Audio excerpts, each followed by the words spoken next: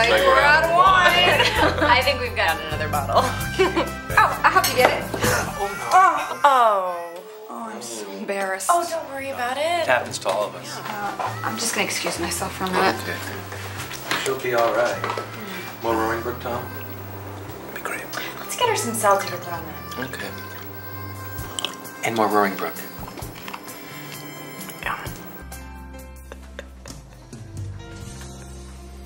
All right. I've ruined the party. Oh no. Oh. oh, it's okay.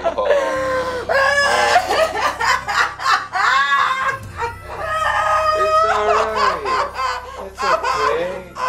It's okay. It's all right. It's okay. Okay. To- Tom, is everything all right? Tina's dead. What?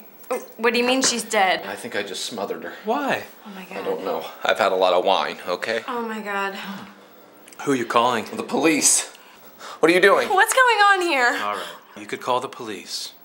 We could do that. Or we could all just relax, take a deep breath, have a glass of wine, and think about this.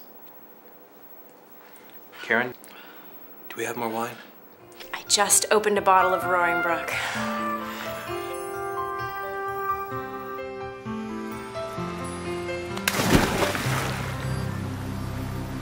Man, feels so weird to be single again. Well, we could go to a bar, see if you still have that old mojo. Nah, it'd be weird to celebrate. Well, just go to my place then. Have a glass of wine. Roaring Brook? Of course. Yeah, I'd like that. Roaring Brook. Rich. Bold. Decisive. Take back the night with Roaring Brook.